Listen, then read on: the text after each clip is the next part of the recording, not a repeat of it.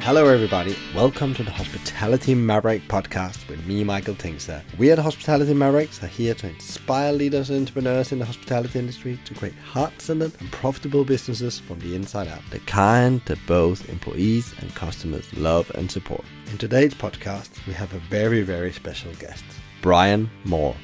Brian is a global retail analyst, trainer, and writer in all aspects of the high street. Brian is the CEO of EMR NAM News Limited, a daily and monthly news service that covers national, European, and global retailers. You can check out his blog at kamcityblog.com. We sat down with Brian to talk about his story, the relationship between retail and hospitality, Amazon, Dark Kitchen, and the state of our beloved high street, and the future ahead. So grab pen and paper, coffee, strap in, and enjoy. Welcome to the Hospitality Maverick podcast, Brian. Thank you very much for joining us today. Thank you for asking me. Really, truly looking forward to it. Brian, we met here at uh, Platform 9. We fall in to talk about the retail, hospitality, and, sure. and the challenge within that. Good. And uh, suddenly I learned that you didn't only have a couple of years of experience, you had a lifetime of experience, and then you can tell how many years yourself. and we came into a really interesting conversation about where are we going in general in the industry, and we're going to cover yeah, that sure. later. But I think it'd be really good for, for people out there just to know who is Brian, where does he come from, and what is it that you're doing today? My parents were mom and papa grocers in Dublin, and so I learned retailing, grocery particularly, from above the shop, again through actually standing behind the counter and dealing with customers, so that came naturally, I guess. Then, when I was old enough, I was delivering to houses with the, what we call in Dublin messages, but in fact groceries. And again, got a feeling for what Amazon are now achieving very well nowadays. I officially then went to college learning engineering and basically there got a feeling for numbers. So for that, I felt a great benefit in applying numbers to every aspect of the, if you like, supplier-retailer relationship. I was also became disenchanted with engineering because I, during my summer holidays I used to come to London and work on the buildings and found that the guy making most money on the site was the making good man who was correcting mistakes and covering up issues, etc., for the clerk of works on behalf of uh, that building and quality management. So I said, being idealistic, to hell with engineering, and basically I will do something else. So I became a medical representative. So I knew a bit about pharmaceuticals and took advantage of that knowledge. And basically I became, for the first time, really interested in selling because I found myself selling to doctors who don't usually use the product themselves, to use it on someone that I could never get to, and equally the NHS was paying for it. So we had a three part dynamic in selling, which intrigued me in the whole persuasion process in terms of what needs to be done.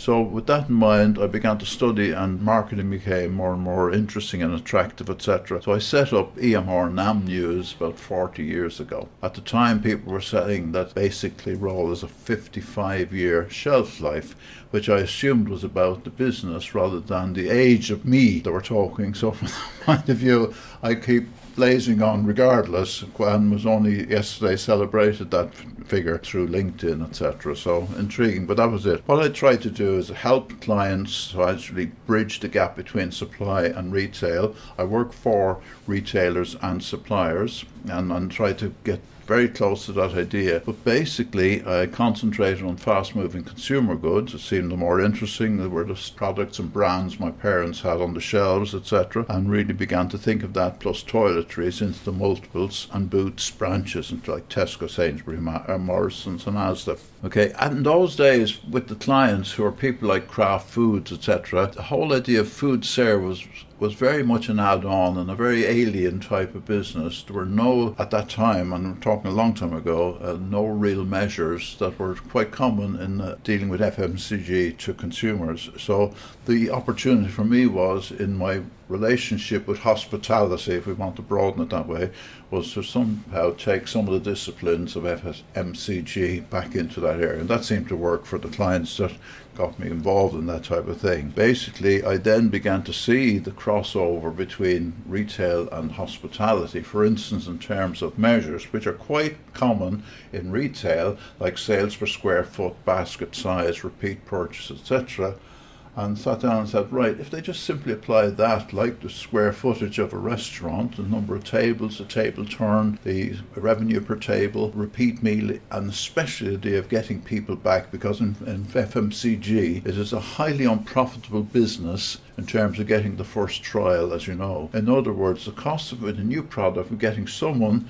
to actually take that first bite, is so expensive basically uh, you lose money on the first one. Only if they're more than satisfied and come back a second time, with a slightly less encouragement, i.e., more profit, do you break even? And it's on the third visit to the brand that you really begin to make money, and then you hook them in, providing you always give cliche, but more than it says on the tin. Right, right, that's the way to run this business. I can be of value to both sides in that respect, both supply and retail on the one hand, and equally FMCG primarily, but equally in food service as it was then, and that's how it all came. So that was me. It will go on as long as I live, and uh, basically, I've no intention of passing it on to anybody, and no need to, and probably not possible. But essentially, that's how I got to where I am. What you do, in a way, is that unlocking the, the knowledge gap they would have themselves. You're looking at the business differently from a strategic point of view and yeah. challenging a bit of what they're doing already. I believe fundamentally in the individual and in the business having all of this already. It's just helping them recognize it. Is basically seeing a need because of this unprecedented global financial crisis. People are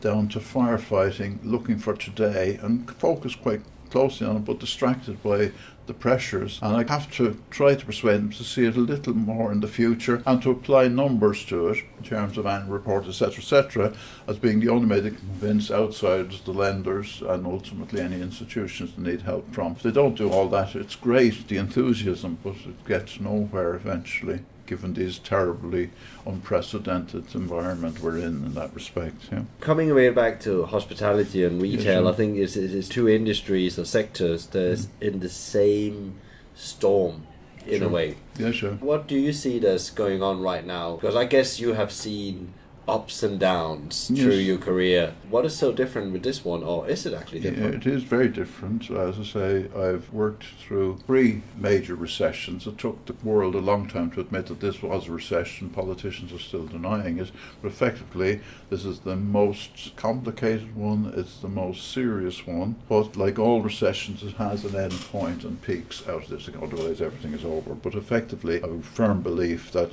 we just have to change our mode of action uh, now in terms of what has come from 2008 is a flatline demand, which is difficult for people to accommodate in their thinking, planning, etc., etc. And in those circumstances, I've seen from experience, the growth is still there if you've got unique creativity and other focus in terms of consumer satisfaction ultimately, and then go for the competitor who's not doing that, and that's your gap. Work out realistically a relative competitive appeal versus available competitors in the market and shape up an offering that, if you like, is unique given those restraints in that respect. Yeah. You say it's very different from from yeah. the others. Besides, you know, politics, everybody can see that that's yeah, changed sure. dramatic over the years. But what is different in, in in the markets? I guess that also there will be still be scope to growth because everybody sure. talks about growth, and yeah. that's sometimes you know CEOs have like a couple sure. of jobs. One of them is growth. Yeah, sure. Another one is profit. Yeah, sure. Compliance, and then innovation. Yeah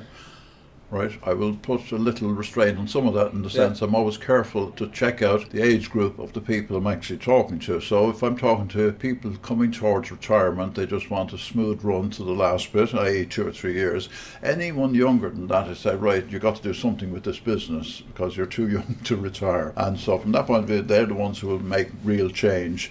The older ones won't and cannot, and so in terms of the way they're remunerated, etc. So we get them to think differently, get them thinking of growth being, if you like, innovation for sure, but not so far removed from the basic offering that it's un- unrecognizable and you whole new education job and education is expensive in terms of media etc etc but effectively given the right circumstance being able to translate what they do into a good investment package in that respect for those who either have to lend or actually invest, or people invest their career in it. So one way or another, you say, what I need to be able to describe this like the old elevator pitch, but effectively, succinctly, as a way of being a way forward for various various stakeholders and then reshaping it to accommodate that as truly as one can. So you see that the leaders, the CEOs, or the management, or yeah. business owners, small to large one in retail hospitality, they stand mm-hmm. up against one of maybe the most complex challenges yeah. they, they would ever have. And I can remember one of the conversation we had. We talked a bit about. It seems like it's a bit red ocean everywhere now. Maybe that maybe not mm-hmm. that many blue oceans. And yeah, no, which totally. It is the same everywhere in the sense that we're talking about geographical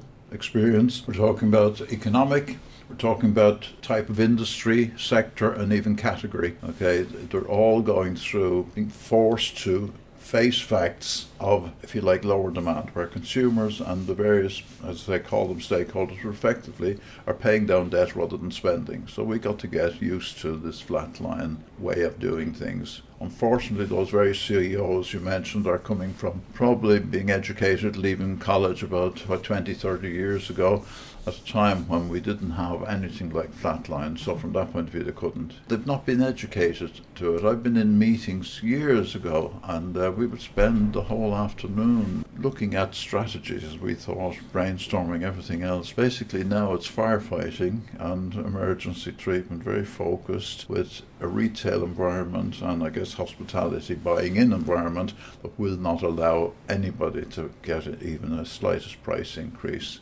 when one needs price increase to do the things one needs is committed to do, then mistakes occur. And mistakes occur like horse meat somehow getting into beef burgers, which can never happen in normal life, but in practice by forcing down the ability of suppliers to absorb and get cost increases through that echo the costs coming through their pipeline, there are prices to pay. And because of the firefighting and lack of focus on the future, then people will be, again, forced to move too quickly, hence errors are made. Then have to be handled or distracting, etc. And if you don't handle them, you're taken over by someone who thinks they can. And so that's the dilemma these people have. So it's not only just selling product, satisfying consumers, but trying to run a business in what can be crisis situations. You know, doesn't leave much time for thinking about the blue sky. We all call it tough times, and yeah, some yeah. some. In, if we come back to the hospitality and restaurant sector, we've yeah. seen people go into CV, CVAs and yeah, sure. administration yesterday from Patisserie Valerie, so one of the big, big, big, big players in, in the market as mm-hmm. well, employing a lot of people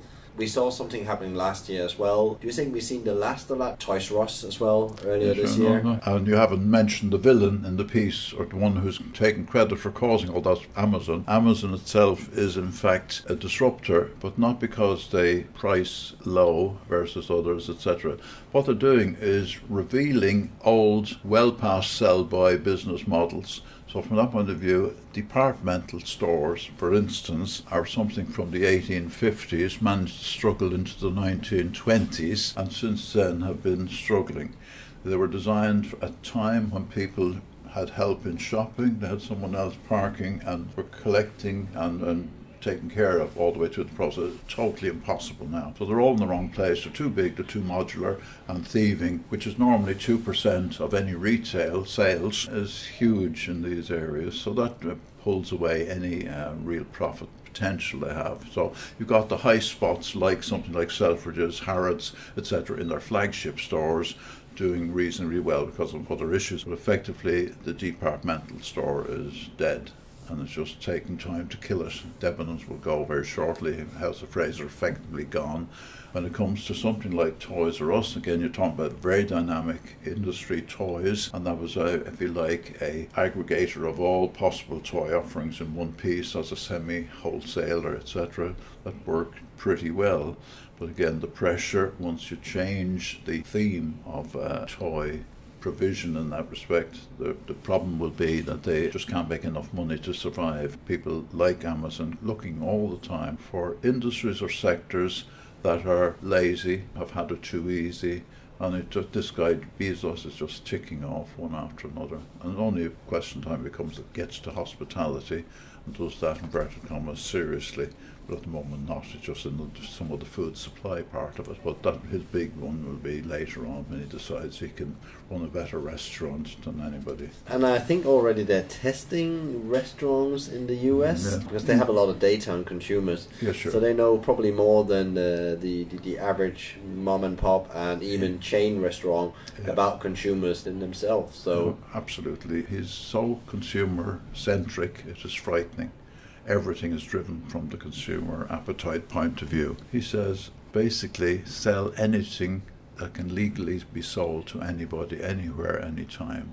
And that'll be the planet Earth at the moment. Okay, but the guy has the sky is the limit in terms of where he's going. He goes into industry sectors that either old, inefficient, etc., and to everyone's surprise, goes straight to the heart of it, leaves out everything else, and uh, is more or less successful.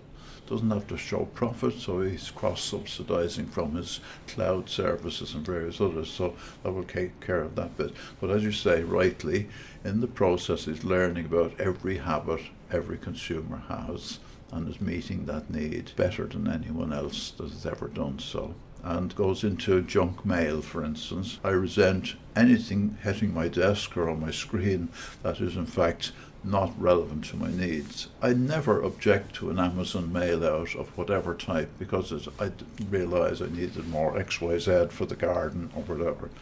And that is so perfectly done. As I say, it's intimidating, even frightening for those who don't know where to start in terms of consumer satisfaction. That's a huge issue. will there be another Amazon? You do think is there an Amazon number two coming out there that will compete with Amazon because they they in a way I would say they almost control that market. Yeah, he's been 20 years in it. He's started online, and I'm talking about Jeff Bezos, obviously. Um, he's set the standards for performance in terms of one click ordering, turning around and fulfillment within uh, 24 hours, it was, but in the it's a M25 ring, can be within four hours, and you can then send back as easy as ordering, which is incredible. What he's ignoring is the high costs of refunding, and that would be a slight deterrent, but certainly is an obstacle for anybody else in retail trying to go online. On to competition, he already has very active competitors, and the main one is Alibaba, of course, okay, who have managed to do what he's doing and are spreading out from China to the rest of the world on the back of computer services of our IT services of all types and making real money. He is not making money because it's more useful for him to reinvest everything into the business and grow the business, keeps his corporation tax at a minimum, etc. Alibaba, for whatever reason, are hitting the bottom line with reasonably proper profits. So they won't have the attention of governments looking for some of that our friends Amazon will have. So they'll be distracted, Amazon will be distracted in the future by having to account for themselves. But at the moment, very little profit, no big corporation tax issue, but huge like interest on the part of every country in the world as to we want a slice of what happens in our country. Don't care how you do it with offshoring, etc., etc. We want some of that. The Americans want the most being they have corporation tax rate of 36%. So it's handy for these guys to be outside Yahoo and various and Google, etc. In other countries where it's more like 20%, etc. But that doesn't stop Mr. Trump, for instance, wanting to pull some of that back on shore. So if we should look at any you know business, you know, say we talked about there was the, the red ocean and not Yeah. much blue ocean to explore out Yeah, there. sure. Is there anyone that does really well in this when it comes to retail and hospitality? Is there some example of you know companies who say they still do incredible well or have prepared for this, have seen it coming, Yeah. and are ready ready for this challenge over the next couple of years, where the where growth's going to be quite flat and maybe even you know downwards. Right. And the people seem to be tailor made for this at the discounters, Aldi and Lidl, and they've gone up market, done all the things that were not doing when they started 40 years ago, as it happens. I've been in shops in Frankfurt 20, 30 years ago and just couldn't believe that something like that could ever work here. But I could see what they were doing because the one thing impressed me at the time was uh, outside the shop, customers had parking outside the shop ranging from students' bicycles to top of scale Mercedes, you know, so that right, got that spread of customers come back and they're looking for value for money, come into the UK, it's wide open, and they did come in, and it was, was wide open, totally underestimated by the professional retailers, think that's down market common, will never suit our local. Then we had 2008 comes crashing in, and these are going like wildfire. They're going growing at a 12, 15% compared with Tesco struggling to go a little maybe like for like at a 1 or 2%, no comparison and no contest, and that's what's happening. So you have that on the one hand, the discounters, which incredibly good value for money, very transparent offerings. Suppliers begrudgingly like them because basically it's a very straight deal. They don't have huge investment in advertising, etc. Just put it all into the price and they reflect that in what's on the shelf. So you got that the quality. People will then come back and do all the FMCG things one tries to do with consumers. Add that to an Amazon creating a online efficiency that others can copy and you have a huge slug of retail taken care of, and that's where the growth is. There are small one-man band, innovative type retailers, etc., which, if it's good enough, are soon copied by other people, are aggregators into bigger retailers' attempts, etc. And that's probably the same with small restaurants, which is a highly personal business, and the ambition to grow means that you're diluting the influence of the owner as you get bigger and bigger. And you were mentioning in previous conversations with me 50 to 100 outlets being probably the limit. I would say 10 to 20 to get that closeness. And then the option is for anybody running a, a good hospitality outlet is basically either perfect the formula and the controls, etc., and franchise it. Okay, that's one way. Or put your managers and staff on profit share, not aggressively enough to make them cut costs so much that consumers don't come, but enough to run the business as if it was their own. So it has to be a generous profit share. And that will support a model that will go out to probably a hundred thousand outlets if you get the formula right. But constantly remodeling that formula to meet changing needs of sophistication. One thing that's come out of this recession, and especially 2008 onwards, is the emergence of a savvy consumer. So, a savvy consumer, as you know, will be someone who wants demonstrable value for money and will settle for nothing less. That savvy buying has gone right through supply chain right through to buyers, etc., and equally owners of restaurants, cafes, and hotels, etc. So exactly the same thing. Everybody is lifting up the lid and counting, which they took for granted before, and that is one enormous change. You mean to then, right, I got to remodel my offering, cut out any extraneous material and pieces, so I'm left with what these people think they're in here to buy, and I give them a little more than they expected it's a magical formula. So what you're saying, Brian, in a way, yeah. is it's going to be even harder to yeah. build change as yes. we go forward. The one that makes it will have a very special formula. They yeah. have refined not over a couple of years, but mm. maybe years and years and years. Yes, and, and, a good example I always like to talk about, and, and a lot of people talk about, is Pret. Yes, sir been sold and bought a couple of times, but still continue performing yeah. quite well. And what what do you think a company like Pret got right on that journey because they are in, in principle a sandwich shop and there's yeah. a lot of them out there. The key is I think goes back to the consumer opening a sandwich and finding there was more ingredient than they thought, it tastes more consistently better, etc., fresher, and the formula changes with changing tastes in terms of health food and others, etc., food to go and stuff lasts on the way back to the home or at work, etc., etc. And that ability to think through the buying process and in-use process and afterwards in sense of when the people are ready to go again and setting up that that is simplified for them and without any confusing of them or uh, misleading of them, uh, basically.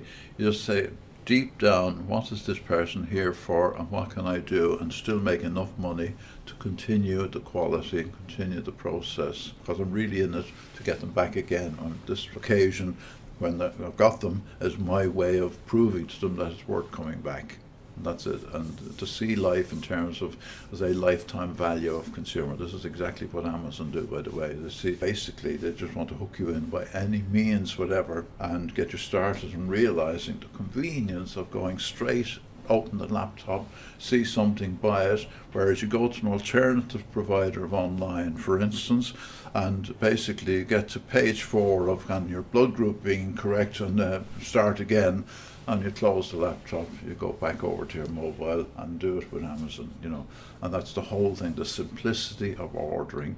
And I do mean one click. They trust, I trust them, they trust me, etc and that's how it happens. And he managed to do that from selling books from the back of his garage. And 20 years later is rather larger in any area that you care to mention. It doesn't matter to this guy or to the public what he sells. For instance, offering can be typically as Tesco, just because it's so uh, obvious us, 45,000 SKU stock keeping units and are trying to compete in terms of range with someone like Amazon who have 500 million in the catalogue. 500 million, that is anything I ever conceivably want. All Jeff Bezos has to be careful about is the quality of what's in there because there's some rubbish in that selection, but in general terms, most people come back for more. There's been a bit of a lot of talk about that people in the future will choose companies they will trust, and you just talked about trust, they will yes. trust and they want to buy from. Yeah. Do you think any of these massive company like Amazon, we can take Deliveroo, uh, yeah, sure. Uber, and mm. Just Eat if we go into the food world, which is have a similar business model like Amazon? Do you think they will come into some challenges? And we already see Airbnb without yeah. wanting to get into these challenges, came into some you know community challenges, and we've seen mm-hmm. uh, Deliveroo. There was a program on Panorama a couple of weeks ago about yeah. Deliveroo and, and Just Eat. Mm. Do you think they, they, they will need to adapt to keep the consumer wanting to come back, or do you think it's because it's so easy? They will stay on. The ease will not be enough. The fact that people are concerned about green issues, environmental issues, or uh, talking about abuse of uh, workers in present country and other countries, etc. So there are other influences on the process. These guys be, have to be whiter than white. Otherwise, they spend so much time compensating for the deficiencies even more than the cost of actually trying to improve it. If they keep going back to basics and say, what do people really want? What do they need? And there can be a difference and to what extent can I risk just meeting their wants rather than their needs and all fundamental in consumer marketing and weigh up that but for sure, anybody and any time someone asks, I've got to have an answer that is not lib, political, and all the normal things, but rather a true statement of what we're trying to do and how we deliver. And ultimately, the only test is that I trust you enough to come back and hand you my wallet, basically, and buy some more. Otherwise, forget it, do something else, rob banks or whatever, but in no way are they going to be able to con a savvy consumer nowadays. And you have social media is a way of propagating some of the good and bad of that. One thing we say, um, call tell a friend, for instance. If you please me in terms of your offering and what I've got when I open the tin, I will tell one friend if you're lucky. If you displease me, I will try and tell 10 people before I get fed up complaining. Add social media to that and multiply it by thousands and you see what is happening with kids that are buying and selling, recommending to one another. That has to be addressed. So the only way is to be straight with people and say basically, at the price you're willing to pay, we can only make it this way. Unless you pay a little more, then we can add the sophistication. But I do not take the shortcut of shrinkflation, whereby, let me say, a Toblerone bar suddenly loses every second mountain in the bar and uh, as yet charging a similar or same price. So from that point of view, the most loyal consumer knows the product or the brand backwards, and are the first ones to notice when you're shortchanging them. Why invest what can be 50 years of marketing in getting to that point and throw it away with your best users? You know, that's what's wrong with with the lack of trust nowadays because then that person becomes cynical with regard to everything else. Luckily, when they open the other tins of other people, they find they're getting more there. Okay, so they're not loyal with these, but they ditch these and they will complain to as many people as possible about it. I spent a lot of uh, years in McDonald's, and one of the things we wanted to build was repeat customers or sure. guest transactions, yes, as we call them. Of course, and, yeah. and, and, we worked quite hard to get that loyalty because there was always there's always a stigma around, you know, companies like McDonald's McDonald's is Marmite yeah, company. Yes, you know, the most people are eating McDonald's, but uh, very few admit it. no, okay. But the coffee's pretty good, I'm told. You know, yeah. I don't trust it enough yet myself. It's quite interesting when when we were able to build trust around the employer brand yeah. And, and the quality of food, which, sure. which we started doing in, in, the years I was there, and it was a very big focus in that. You saw how sales growth came. Yes, indeed, yeah. It was not in a new product. That no, it, it was it was the consumer actually starting to trust the brand more. Yeah, sure. And we saw it came where there was a big campaign here in the UK about McJobs sure, and yeah. so on. That has grown across the business, and they're trying to do that in the in the US now, which, yeah. is a big challenge, and it's probably going to be growing. You know, more developed market with it. But they also seem to be able to go through recession on yeah, recession sure. and getting stronger and stronger. If definitely if you look at the share price. No, no, you're talking. Yeah, yeah. Is that another company that that maybe have because they're massive. They they they're massive. There's thirty six thousand restaurants. Yeah. Are they ready for the future? In, in your view, from you know the death of the high street and yeah, you know Which, retail and all this. That ties in very nicely with the idea of running a small, very personalised restaurant as opposed to being a mass market one. And the question then becomes one of whether um, you can make money at each. They are just slightly different business models, and I see that the same with independent grocers and with uh, like of Tesco, Sainsbury, etc. And the basic idea is if you want to make money, and a lot of my work is involved in this, is return on capital employed by whatever means. And return on capital employed, as you know, is a factor of margin and rotation of capital. Okay, so you can be like in the cosmetics business, if you like, a very big margin and very slow annual rotation of product. In the mass market retail, you're talking about narrowish market uh, with a good formula, a narrowish net profit but fast rotation, typically the multiples will return their goods over 25 times a year, okay, with a margin that can work at 2%, ideally should be 5%, but nevertheless that works. When it comes to individual highly feel like personalized restaurant, if you're that good and they're coming for you personally as long as and with everything else, then can possibly charge a little more and thereby get a reasonable net profit. But everything will be slower in turning in terms of ingredients, stock, etc. Certainly, You won't be buying as much. You won't have scale advantages, but you will be able to watch the quality of everything you're getting, and a good supplier will keep you getting good stuff. Really, for a lot of these owners, either the Tesco owner equivalent or the actual a small individual restaurant. It's a question of saying how fast you want to grow,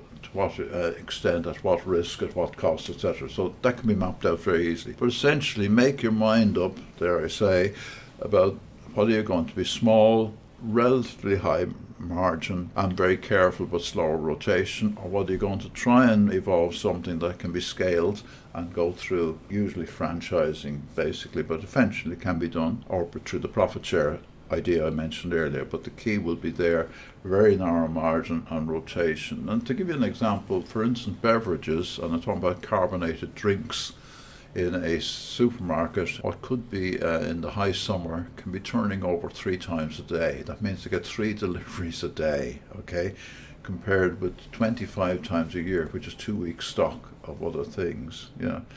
And it can be done because if you put a whole day's supply of, let us say, Coca Cola into an actual uh, retail establishment, it absorb a lot of the space that they have need for other things, etc. So they just cannot even cope with holding more than three or four hours stock at high demand times. It's getting to know their business, whatever it is, be it hospitality or retail, in terms of the numbers, what seemed to work over time, and just watching and counting. And it's not very interesting compared with the you like, art of meal preparation and serving, etc. But it's a fundamental, and you can't forget it, or will not be allowed to forget it for long. So it's seeing numbers, finance, etc., wrapped around your business model, and then use that, what your learnings are in terms of applying that in practice. We touched a bit on the Deliveroo or the whole delivering model. There's been yeah. a lot of talk about that in, in general for also for supermarket. Uh, yeah, sure. The growth of delivery business. Mm. It's going to be massive.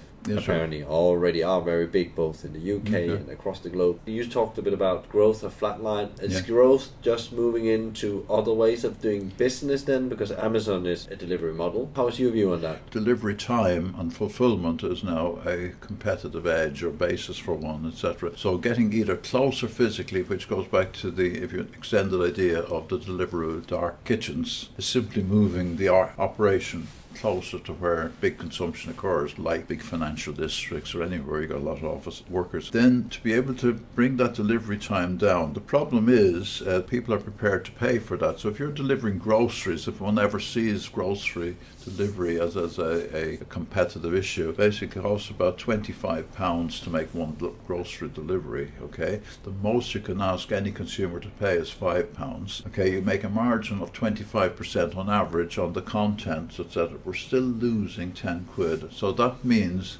basically for retailers there is more profit to be made in brick and mortar business than there is in online. But it's interesting from the city point of view and for everybody, press, etc. point of view, to be seen to be active in online, and as a result, they're building that side at cost themselves and diluting overall profitability.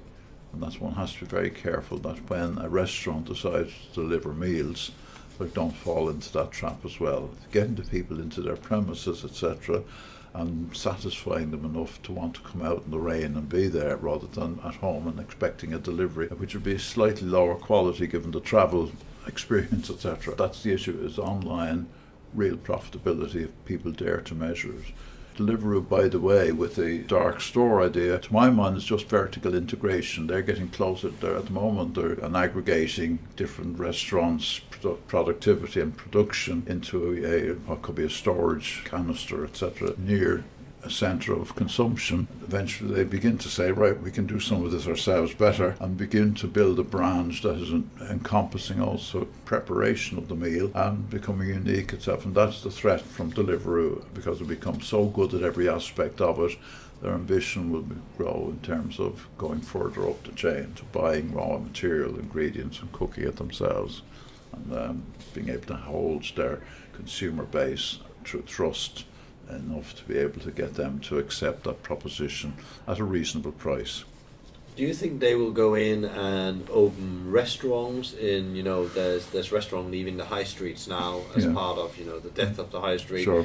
Do you think they will be one of the, the new because is the high street going to die or is it just going to transform? That's the that's the probably the big question. And who is then coming in? Is it mm-hmm. Amazon? Deliveroo. Yeah. These people yeah. really have all the data to know exactly in this location. Also Thai food in this over there. Yeah. Also Indian. Here is pizza because I know that's going to work from the data. And the ability to change that depending on the taste for Indian, changing it, etc., etc. That will happen to a certain extent but the inherent weaknesses of the high street are about business rates and essentially that parking difficulties and all of that. Uh, so that's one problem, and is local councils have to get into their heads the idea that that has got we've got to make it easier for people to come in and be there in the street. We take an, an idea from Amsterdam where repopulate part of the high street with living accommodation, so you get less crime and more activity there, and that that will help as well. The problem is upward only rent increases. In the sense, it's the accepted model, particularly in this country, whereby any rent review is upward and etc.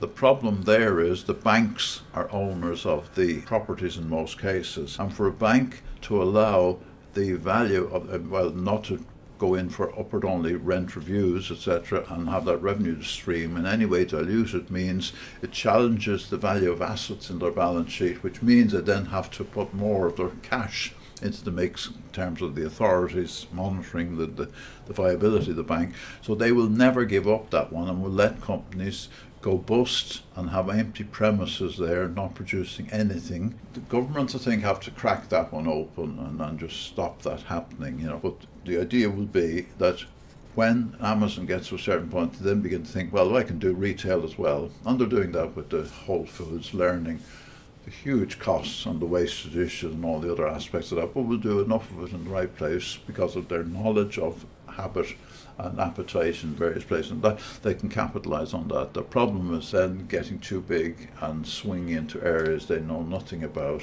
deep down.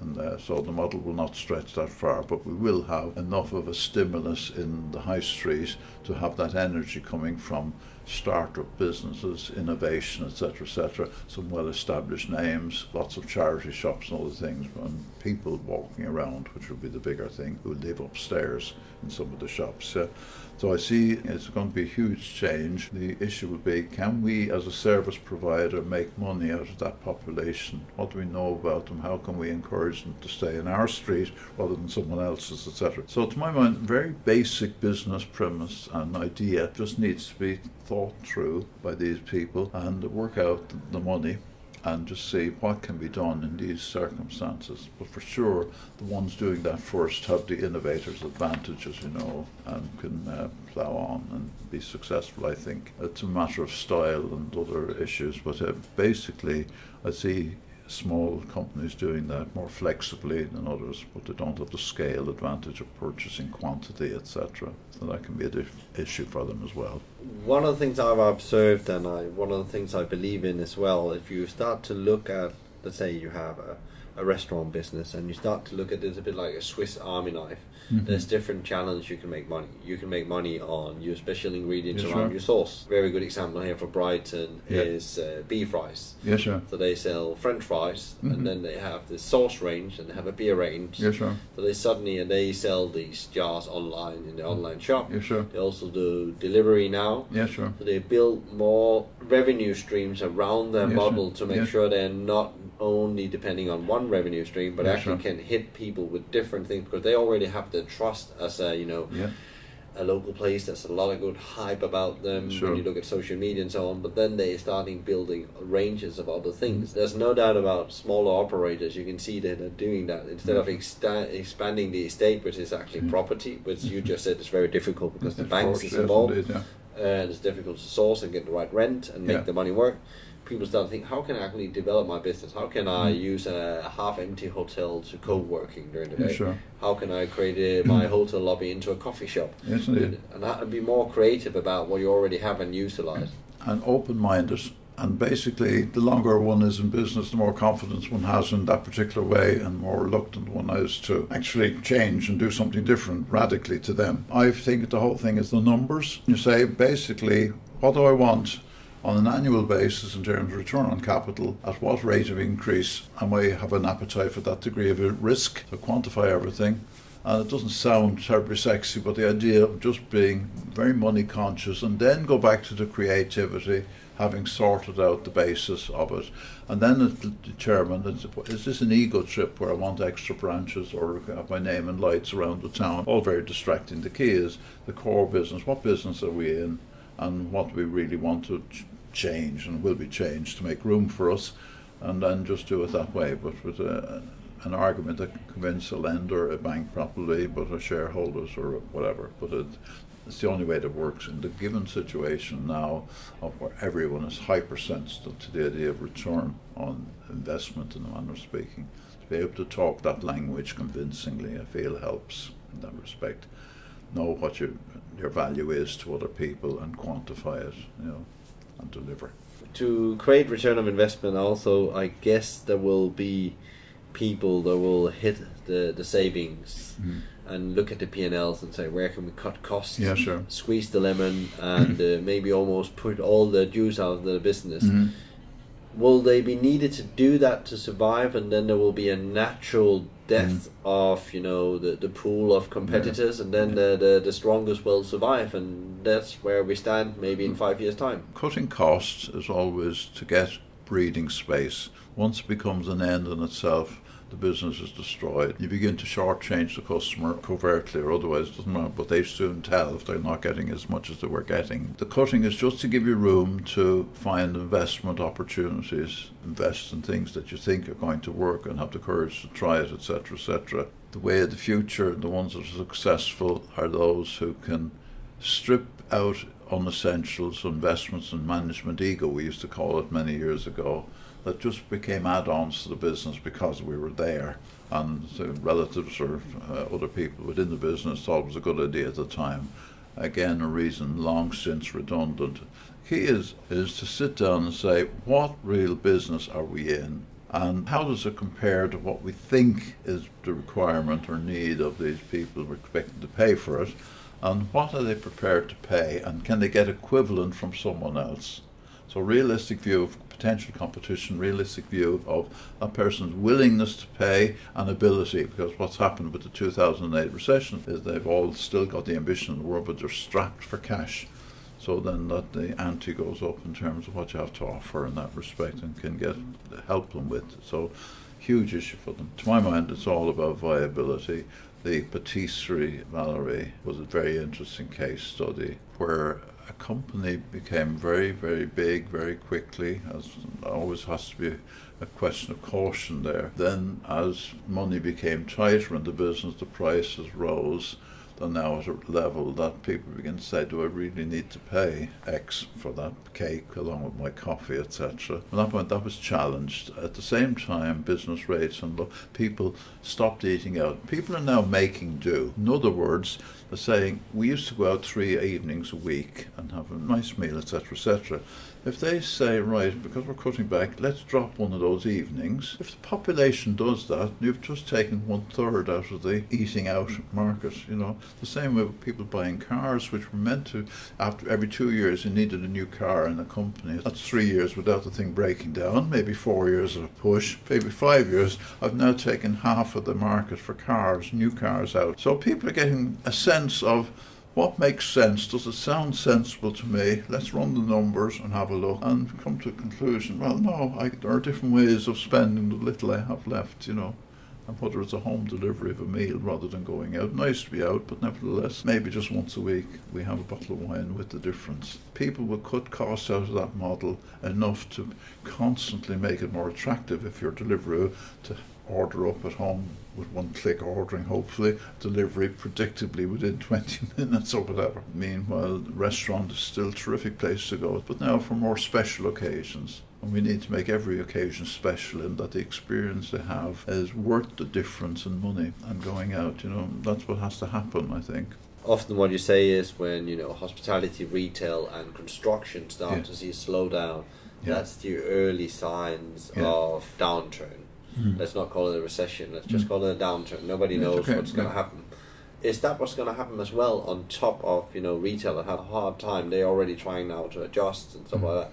Are you seeing you know in, in general that, that this is going to happen? That, that everybody tried when you see the news or mm. finance news, everybody try to avoid to talk about it. They say, well, everything is fine. Uh, we've gone up year on year. We're still growing. There's still prospects for growing the, the, the economy is it is it again you know we are trying to lie to ourselves and yeah. then there's going to be a big hit around the corner yeah i think there is but then it's so politically incorrect to express that yeah. so it's in everybody's interest to talk it up to my mind one loses touch with reality when 2008 occurred I was personally saying, right, two years. I didn't dare say three years because of the expectation of people who listened to me. I said, but now I can ring them up and say, well, five years went, it's now 10 years, okay, 2018, and, and can you please stomach the idea of this with the uncertainty of Brexit and other things, another five years? Just budget for that. If it's better, it'll be a bonus. Act as if that's going to be the case. So then put in all the disciplines into your business to make the most of the bit of money you have available and just go for it like that and then, as I say, as it lifts, you're probably the best prepared than anybody to then rise with it and stay ahead. Whereas most people in this type of environment are sitting on their hands waiting for it to get back to normal so they can recognize patterns do normal things and the cliche cliche this is normal. If you get used to that you speak to young kids of 18 20 years of age. They've never known anything other than flat lines in 2008 There were babies in those days. Yeah. and uh, they will go into business now and startups things that more experienced people like myself say you haven't got a hope in hell would never express it. I'm very interested in what they're doing. But in practice they don't know how risky it is. They don't see the holes in the road and we need whole slug of those people to keep it going. And one way or another, they would, odd ones will strike real pay dirt. And A lot of them will be moderately successful. They have ambitions that are tied to reality rather than our age old win everything. That's where the growth will come. all I caution them to do is, as I say, count as you're going along. You learn a lot from figures, and um, just do the good stuff, you know, and that works very well indeed, you know. What are the three biggest things you think that has changed? Basically, I keep referring to, but the savvy consumer, it was not inverted commas posh to ask about the cost of anything, and particularly this UK culture for years. You're now challenging, luckily, the doctors, the judges, the police, politicians like never before. Equally, when you don't like what comes on the plate, when you saw the menu description of it and say, no way, I'm, and I'm not paying for it either. They don't make the legal mistake of saying I'm not paying at all. I pay a pound for that. Now publicise me in the local paper if you dare. But that's all. It was rubbish. It takes an awful lot of moral courage. You can do it easier when you're on your own and don't have a family there to be embarrassed. So my own family are well schooled in me objecting when it's absolutely necessary, and they equally in turn do that. So that's the difference. People are now looking what we used to call a gift horse in the mouth. They will see the length of the teeth of the horse and will challenge things because it is their money. It's hard won. They don't have an awful lot to spare. So they're not going to be, if you like, conned just because someone aggressively or nicely or persuasively says, it's fine, trust me, I'm a doctor. Ridiculous. And that was the most heartening thing that's occurred. So now we're talking about realists out there doing business with other realists. And they find a way that accommodates both on a fair share basis. Is there other things that's going to happen over the next two years? Government intervention. Always one avoids the idea of a Brexit and this, but it is colouring everything we're talking about. We have to sit down and watch for the viability of a, if you like, a single currency, and with plenty of arguments to support or uh, deny that. Governments are strapped for cash, so they were looking at different ways of getting tax from people and businesses, etc., will, will then, as they cause problems in terms of what future there is in other people. One thing I'd like to touch, touch on, because I like the whole idea of the hospitality interview, for one reason alone, which is a pet subject, but nevertheless, I think with restaurants, the final experience one has in a restaurant is, in fact, would you believe, the cup of coffee. And that's the lasting experience and the thing I remember when I leave the premises and want to go back. A lot of hospitality establishments will, in fact, cut costs on the coffee and coffee as an ingredient, 30p a cup. I bet any of them buying reasonably could buy it at 10p a cup. And to begin to even think of cutting costs on that basis, the McDonald's success will be about quality coffee more than the rest of the offering, I would suggest. Okay, so if I can uh, leave that restaurant with superbly made coffee as my lasting impression, I would then begin to talk and say, do the tell a friend idea in that respect. And there's the one vulnerability of see time and again. I do not, in most of my restaurant visits uh, socially, I just refuse to take the coffee course, knowing that it is, from the smell it will be the cooked style. Say not right in my book, and um, it's crazy that they do this. That's one message I would like to leave with some of these guys, you know, as a consumer it's quite spot on what you see there because actually when we work with operators yeah sure one of the things we add on to their their string a bow uh, in, from a sales point of view how to optimize your coffee offering oh lovely is, is the coffee bit because that's actually you already have them in there the amount of coffee that's been drinking and yeah. especially if you can do a really good quality after a yeah. meal yeah. It's, it's a very European thing that's come into the UK can mm. be massive and then often people miss that opportunity oh, and I, one thing I learned from my mom that ran restaurant business through the yeah, years, sure. and uh, what's that? It's how you start and you end the visit. Yeah, sure. Yeah. That builds the loyalty. Of course, yeah. We can make mistake in yeah, between. Well, if we correct them and then make sure that whatever dessert or coffee yeah. they get and goodbye. Yes, indeed. We are safe home. Of course, without a doubt. Except that you made a mistake and you actually have build loyalty with them because you actually yeah. correct that. Yeah. And many, many, that's why they try to make the savings. yes, them, because then I, or they keep yeah. the price up there and then put a worse quality product in. It could be milk, it could be coffee, it could be coffee machine, maintenance. So yeah, so we, we see that all the time. So that's a, that's a perfect good example. In the end of the podcast, Brian, we always ask the, the people on if they can get like one advice. Yeah, sure. And we can put the retail hospitality hat on. I think leaders in these industries have the same challenges. So what what is the one thing they should do? Apart from counting the money, I'm taking that yeah. as a given.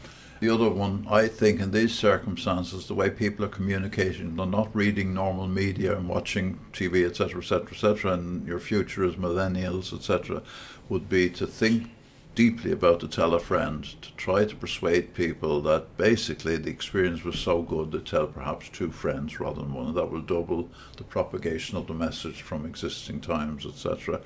And for sure, do not disappoint them because then you're on the other end of the scale with uh, going to, let us say, minimum 10 people with a complaint. If you just see it as golden opportunity I mentioned earlier, actually getting someone to come from a home or work and sit in your establishment and captive audience, and you have perhaps an hour, hour and a half to really convert them into loyal users is something that the FMCG guys never get to express except with uh, special interest groups and other expensive mechanisms. In a restaurant, you have that as a given and to then treat them badly, have bad lighting or good lighting, depending on what they expect to have, to look after them without in any way, no one wants servile, but service would be a very useful ingredient, and just make them most and say, you're guaranteed if you come back again, you get more of this, and it can't fail. With value for money added on, it becomes compelling, I would suggest. I think that was a, a, very good advice. Thank you very much for coming here on the Hospitality Maverick podcast. I'm sure we're gonna catch up in the, in the if not the coming two years, but before that, when things are moving along uh, in the both the retail and hospitality industry. Good, great pleasure, Michael. Thank you very much. Wow, Brian, that was quite an hour, and thank you so much for coming and sharing your stories and thoughts around where the high street is today and where our beloved high streets is going to go in the future. If you enjoyed today's podcast, please give us a like, share, or even better, rate us on iTunes. Thank you, Laura, from Let's Talk Video Production, for making another podcast happen. We hope you enjoyed today's Hospitality Maverick podcast with me, Michael Tingsager. Tune in next time for another industry interview, and in the meantime, find out more about us at hospitalitymavericks.com. Thanks for listening, and be Maverick.